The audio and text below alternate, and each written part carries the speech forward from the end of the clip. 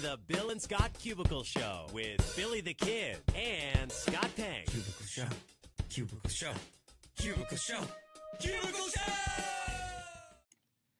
It's the Bill and Scott Cubicle Show. Yeah? It's the Bill and Scott Cubicle Show. Yeah! Yeah! What up? I'm Scott. And I'm Bill. And this is The Bill and Scott Cubicle Show, the season two finale. Oh, this is what goes on. Last uh, show, there will be no show, obviously, tomorrow because there's no cubicle show on Fridays. But next week, there's no cubicle show at all. Billy the Kid will be on vacation, enjoying some uh, much needed relaxation, some R and R. Down in the uh, beautiful June Florida climate, where it's going to be hot and muggy and thunderstorming all week long. He's going on his vacation, yeah, with my friend from college. his bay. Oh man. Oh man, but uh so we won't be here next week, but we got a great show to end out season two. Then when Bill returns, we will go on season three. Season three is gonna be kinda short though because I'm going on vacay in August. no, no, the wokeness The season wokeness. is going to be short enough to keep you awake. Yeah. You can only be so woke. Right. You know. You don't want to be always tired. yeah, You it's don't- hazardous to your health to yeah, stay woke for You get long. tattoos that you regret and all that stuff. It's- it's just ridiculous, Always you know. tired. Oh man, uh, we got stuff to get to today. Rihanna's out here being a kleptomaniac. We'll talk about that. World Cup has a major shortage of a and very, a very important resource. yes. Um, Essential to the game. fans are screaming something at Taylor Swift during her shows. Find out what that is. Uh, why Star Wars is doing some major backtracking right now. I think they had a dose of reality. Uh, nice reality check, some would say. And um, it's been confirmed the engagement, the engagement everyone has been talking about. Sometimes when you lead with love, you fall into a relationship way too fast. though. or I should say, you fall into a marriage pit? and engagement way too fast. Oh, Pitt Davidson? Pitt are the Grand Davisons. Grand Davidson, yes. Uh, what is going on here? Is that what we're hitting? We're Yes. leading with. We're gonna lead with Grand Davidson. Uh, so okay, so Pete Davidson went on Jimmy Fallon last night and finally officially confirmed that they are engaged. This is the first time either of them has spoken out about the engagement. So basically, as soon as he sits down on the chair next to Jimmy Fallon, Jimmy was like, "You know, you didn't have to get get engaged to Ariana Grande to come on our show," and Pete was like, "But I did though. Like, I did get engaged." Yeah. Um, and so everybody cheered and everything, and you know they were talking about like like what's it like to be engaged to Ariana What's Grande. it like? It's like And- um, where's my future thing? Oh, it's like oh yeah, okay. the quote from Pete Davidson was, "I feel like I won a contest. So sick, it's effing lit." That's what he's. Those are his his romantic. His, this is how he uh, serenades his love. Is lit. Oh. I mean, he's not the artist, to be fair. He's the comedian, and it was pretty funny watching him talk about how, like, you know, he walks down the street and people are congratulating him and tipping their caps like they did to Derek Jeter in the commercials, like when he was for the season before he was retiring. and Nobody's he doing about that to you, Pete. how- Nobody ah, knows who you are. I well, uh, people know who he is now. I still, if I saw him, I I watch Saturday Night Live. I've barely have missed an episode of Saturday Night Live since I started watching it like freaking twenty years ago. Um, I don't think I'd recognize him in the street. I'm not even gonna. I mean, lie. you know, he could be sensationalizing things. He is an entertainer of the comedic variety, and they've yeah. been known to do that kind of And thing. That's why this whole relationship's a laugh. Oh, it's to set up for his his uh his world tour. Oh man, I- imagine see, if Pete go. Davidson warms up the crowd for Ariana Grande. They do a, a comedy like musical Dude. special. They have to. Now here's who used to do that. Childish Gambino. He was stand-up comedian. There's a bunch of great stuff. You should go check it out under Donald Glover. Um, when the first time I ever saw Childish Gambino, he released his camp EP or Mm. what mixtape, whatever it was it was called. an album. Was was it considered an album, album? Um, so as they were building up to it, he had his little tour and he did stand up and then he performed, and it was That's pretty, pretty cool. dope to be honest. I also you. heard of what was it last summer? Earth, Wind, and Fire came to SPAC, and they had JB Smoove opening Yeah. up for them. So That's it's not cool. unheard of. That's an I, I like that you point that out, and I also think it's interesting to kind of tie into that whole thing. We keep getting like little breadcrumbs of information. Like every single day, we find out another new little Another tidbit. one. So, like, what do you think the odds are that tonight uh, Ariana Grande is going to say something about it? Like, I want to hear her take on all this, and this would be breaking news for like tomorrow morning, just to keep us talking Mhm. about this. It, like it's like they've got complete control over this scenario. That the puppet master's just weaving the narrative exactly how they want it. Does And Ariana release her album surprisingly tonight? um, no, she did. She doesn't have a release date, does she? Exactly. Maybe she does. Maybe that. Ooh, have we stumbled onto the? And yeah, I know uh, Stan. We're going by Stan Lee now. I just, I love how it's always back and forth, Kyle. But yeah, I am super selfish. I'm going on a vacation because it's all about me. I only care about me because you know what? I'm selfish. That's fine. Is that fine? Uh, yeah, it's fine. You do. You I'm know, just gonna admit I'm you selfish. Do, you do what you got. Hey, it's not selfish to want to take a break from all I am the hard work and dedication that we put in, sitting here and yapping. Yeah. Uh,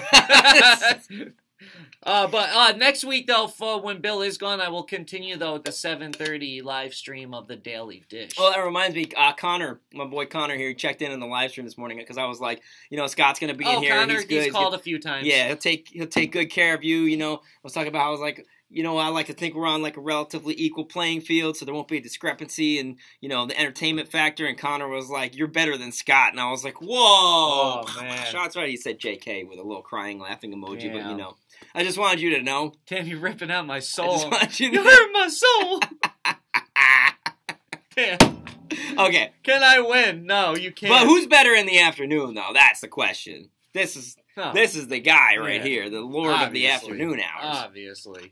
Um, I've never done afternoons except when I was filling in for Marissa and Fly. yeah. So I have done every shift. I've been full time. We're getting water bottle talk, everything but mornings. you know what? and It's you've been full time in mornings and nights. mornings and nights. Yeah.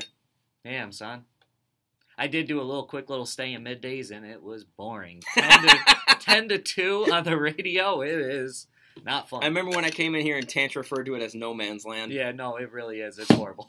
Actually, I did my training right over there, in that little that spot right there is where I used to sit here and watch and learn on my very first days in radio. Yeah, this is water bottle talk. Yeah. Sorry. Or the World Cup. Let's uh, let's talk about some other talk, right? Uh, let's talk about Cup. hydration Yeah. and how important it is when you're watching sports in the summer heat in Russia, where the World Cup is happening, and there's a, there's a shortage, there's a drought of beer. They're running out of beer in Russia because of the World Cup.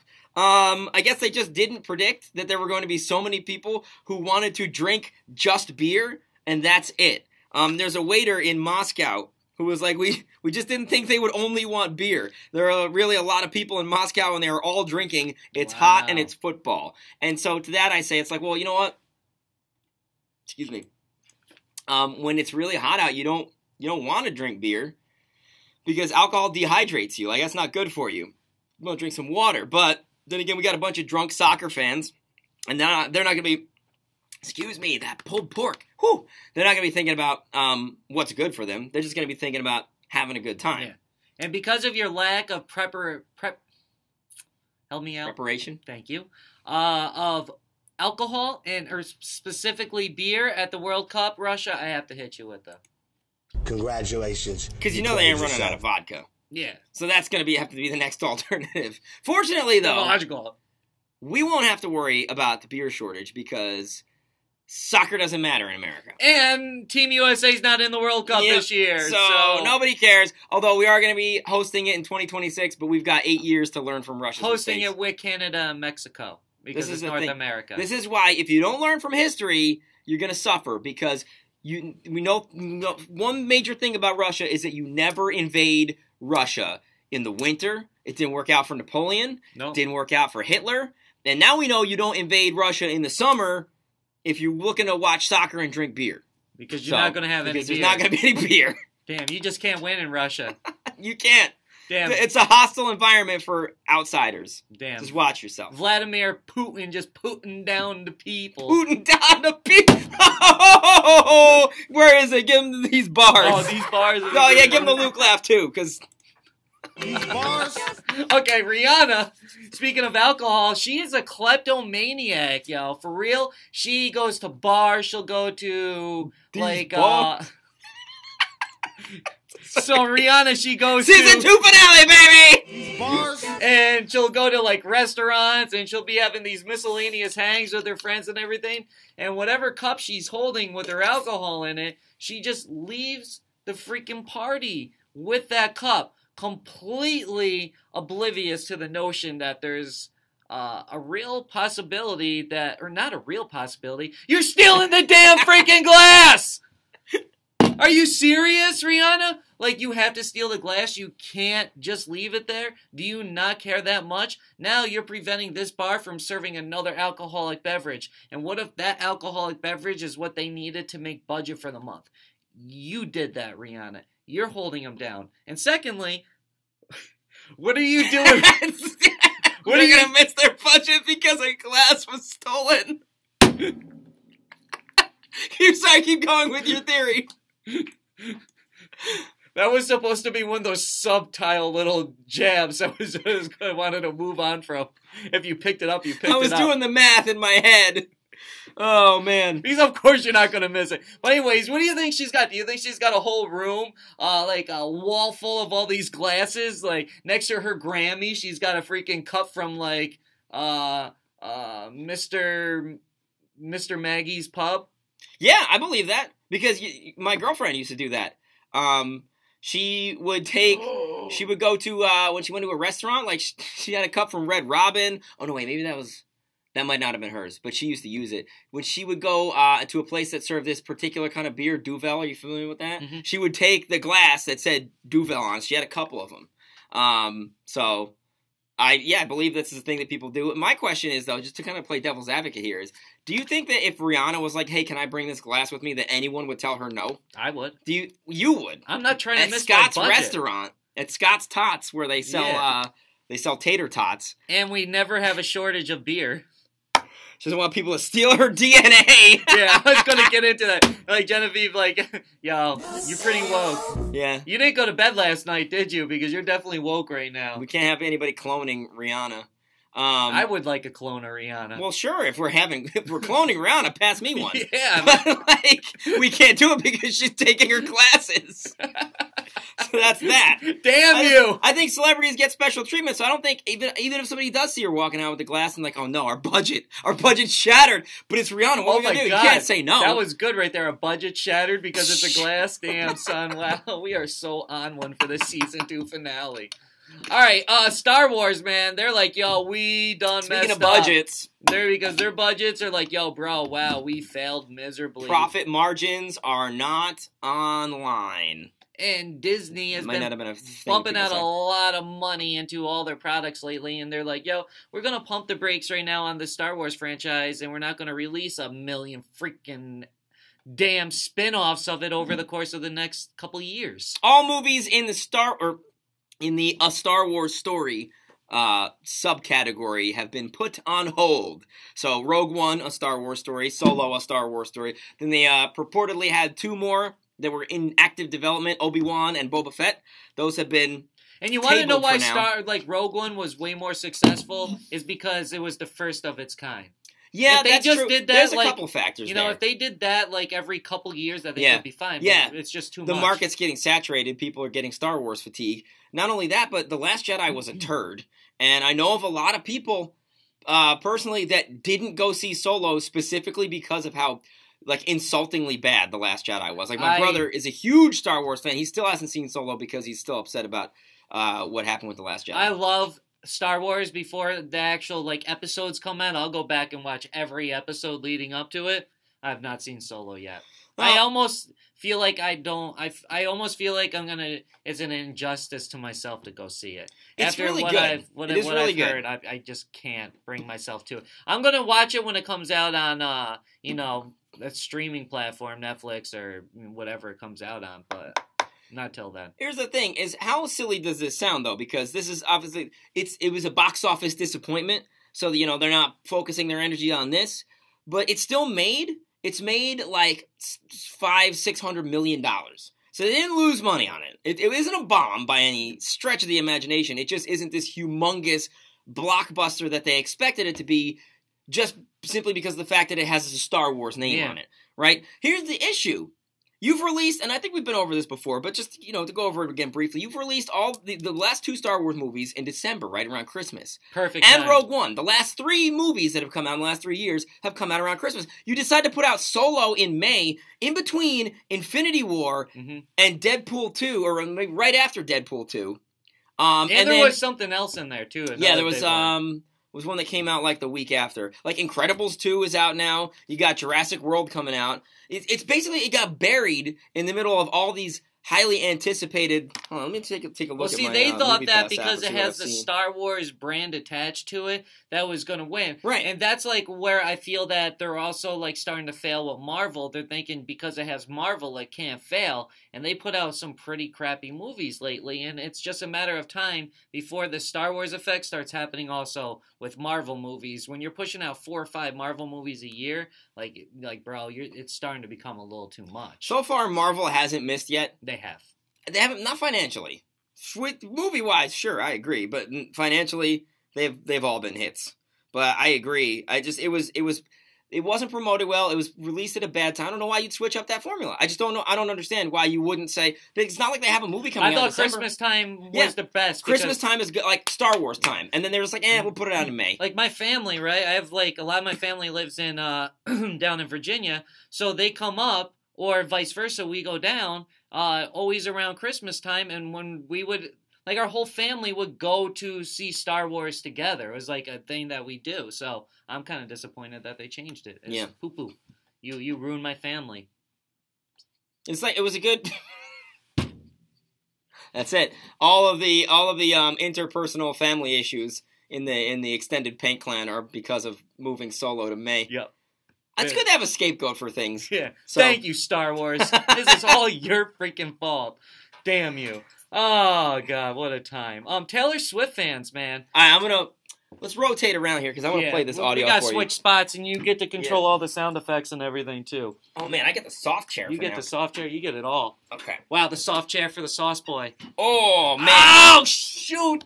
This was I just almost screamed the S word. this is this was not a Oh. well thought out plan. I suppose. I feel really weird being over here on this side of Oh of my the. god! Scott bumped his knee. oh, Are you all right? That hurts so bad. It looks like it hurts. You're making a really making a very hurt face. Dang, your face is as red as my hat. Ooh! Damn! Season two finale, baby! Oh. We promise you a big one, and we are not Um. gonna leave this show until somebody's injured. I'm gonna overreact like freaking Peter Griffin. I knew it. There it is. Ah! Ah, okay. Ah! I don't like the lighting on me for this. Ah! It hurts though on the for real, but let's It go. makes me look fat. All right, so uh, there's this, this trend at uh, Taylor Swift shows on her Reputation Stadium World Tour lately. One fan started this off um, at a show about a month ago, end of May. By this is what happened at, at a particular point in the song "Delicate."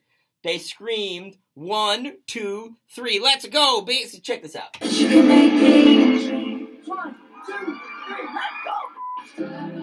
So they posted a video of that on Twitter. And I guess all the Swifties are just constantly in tune with what's going on on Taylor Swift Twitter. And so they picked up on that and other people started doing it until it's it's check out this audio of this is a show last week, basically the whole crowd doing this. Nah, this is kind of muffled because it's all a whole bunch of people screaming all at one time. But What are they saying? One, two, three, let's go. Okay. Um, but it goes even deeper than that because Camila Cabello, who is opening for Taylor Swift currently, joined in recently.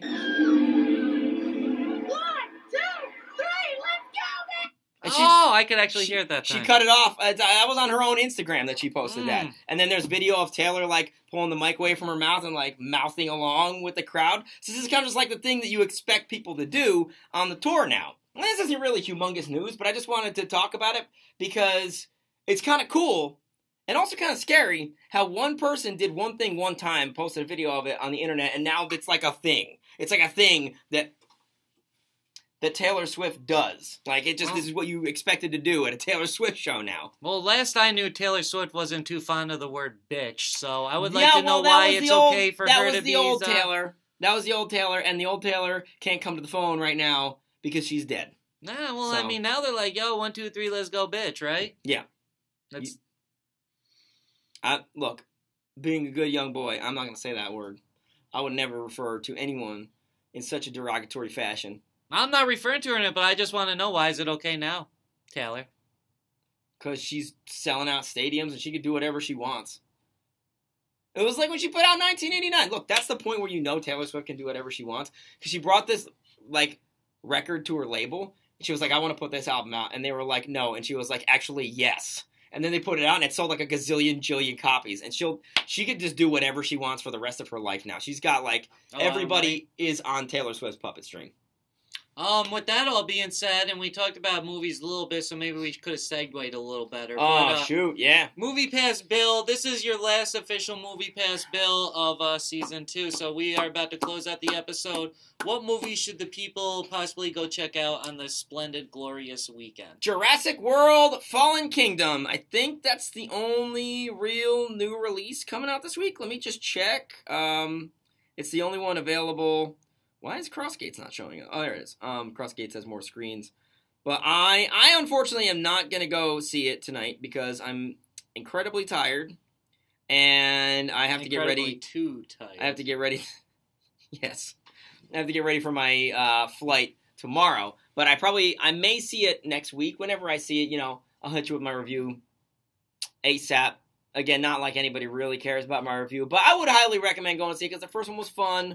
Um, the first one was more or less a retread of the original Jurassic Park, and it looks like this one's going to be kind of a retread of the Lost So, World. are you going to hold the same energy about this Jurassic Park movie as you did about The Incredibles 2? Um, it depends, like the like the energy that it's. Oh, look, G Dog is going to bless us with his presence for the, the season two finale. Come on in, G Dog. We're talking the talk. Season two. Yeah. Who, who thought it would last? Not me. I did. It's almost over. You I have faith in everything long. that I do. Yeah. Today a longer show. Uh, Yes, we it's the always- season per- We got started a little late, but we always go long these days. When does days. season three start? Have we discussed July second, when I get back from vacation. Why July? Why don't you take that week off too? Because you're gonna be off one of those days. Okay, Sure. is that official? Is that uh, is that um, hand of God from the I'm just, supervisor? I'm just asking why you you know take some time off. well, because then Scott's gonna have to do mornings that week too, and I know how much he loves doing mornings, No, but I that's don't not want to what let I'm him have that saying. much fun. God. Well, You it's trying to get rid of it's- me? It's been a great season two. Yes. We learned a lot in season two, Yeah, to be honest yeah, we with did. you. Season two was We- a great period of growth. Yeah, we grew as a So, show. Why have you grown so much in the last year, Bill? You uh, I've been are eating my veggies. posting that on uh, Insta and all your social media. Uh, National Selfie Day. Oh, it's National Selfie Day. Oh, yeah. I'll, here, I'll, I'll show you my, the picture that John is referring to. I believe. The You one. said that you know this has been a I've- great I've learned a lot about myself. Personal growth. I, I didn't. I said I've learned a lot about myself. Oh, hey, it's the first thing that shows up because. Oh wait, because it's your own Instagram, maybe. yeah, maybe. I don't know. There it is. There's my National Selfie Day selfie. Wait. With a bill. Yep. Got it. Check that. Peep my style, kids. So So why have you grown? Give us like three reasons why you think that you've you know learned a lot about yourself this year. Um, I don't. I only really need one reason, and that's because remember when the best summer ever ended, John? Yeah. So you know, you know how when you go to the gym and you gotta, when you work out, you gotta tear your muscles down before you can build them up, but then you come back even stronger. That's me right now. So you had to tear down your emotional. Uh, That's right. well-being. You gotta hit rock bottom before you can get to the top and realize that you deserve better. All right. So that's one. what uh, what's what else? That's it. That's all the reasons. no personal growth, like trying to be a better person, trying to be. No, I'm trying to be a worse person. I'm trying to be a more to effective more person. I'm trying the to. people that you work with. No, to no, no, a no, little no, bit no. more of a you know indoor voice as opposed to outdoor No, voice all the not time. that. No, I just I have learned a better way to deal with my problems is to just um, Come to the studio. Avoid them by going to the studio. Yes. When you take screaming and yelling. when you the, challenge uh, your problems head on, you get strongly worded emails, and I'm not a fan of strongly worded emails. from who? I think we answered that Well, it's question. been a great season too. Yes. Can't wait to see what Oh. you boys have, the Jamz boys. Have. Oh, I we can't brought it wait. Back. Oh, I can't wait to see what you guys have planned for season three. oh man, Season three, yeah, season the three. wokeness the season. woke season. Oh man. Oh. wait, that's the Luke Bryan laugh. We need the woke drop. There it is. I feel so weird on this side of the screen. I don't know how to react. Switch back. Yeah, Switch let's back. okay. We Uh, got to switch back to make it normal. Okay, so this is it for season two. Thank you for tuning in. Please share the show, like it, tell your friends about it, all that good stuff. Um, we appreciate your comments. Um, I think that interacting with you guys through the comment section has been a, a lot of fun in season two. Too We want to do even more of that. Yes. In season three. you know, and uh, we, keep season up three stuff. and beyond. Some, you know, like we, will respond back to you in comment sections and everything. I was on one yesterday a little bit in the comment section about the damn video thing. Man, that was funny. And it's like it, it's never been me, so stop saying it's me. The whole time I've been saying it's not me. I can't control the settings. Somebody else does, but it keeps going back to me. I think you misinterpreted that personally, but I don't want to start a big old fight about it. I think you misinterpreted what was being said. No, people weren't listening to what I was saying. I originally said I it's not me that changes it. Somebody else has to change it. So I don't have the control. My settings are on public. Man, I'm just so I'm just so happy with season Oh. two and how it's going that I don't want to leave it. Damn. We're still here, and I oh thanks, thanks for my phone. yeah. So that was annoying. Wait, let me see. Just let me make sure that we don't have any uh, comments to address. So yeah, well he's looking that. I'm just gonna close it out. Season two, three is June second. We'll be back July at it 2nd. July second, Monday through Thursday on the Jamz 96.3 Facebook page at 10:30 Eastern time. Because no matter how many seasons, that's the only time zone that matters. One. Cubicle show. Cubicle show. Cubicle show. Cubicle show! What I'm talking about, boy! Bill and Scott Cubicle Show. Yeah? Bill and Scott Cubicle Show. Yeah! Bill and Scott, Bill and Scott Cubicle Show. It's the Bill and Scott, Bill and Scott Cubicle Show. It's the Bill and Scott, Bill and Scott Cubicle Show. It's the Bill and Scott, Bill and Scott Cubicle Show. Cubicle Show. Cubicle Show. Cubicle Show. Cubicle Show! Not a rectangle show. Not a triangle show. Not a pyramid show. It's a cubicle show! Bill and Scott Cubicle Show. Yeah? Bill and Scott Cubicle Show. Yeah! Cubicle Show. We're just gonna. One. Boy!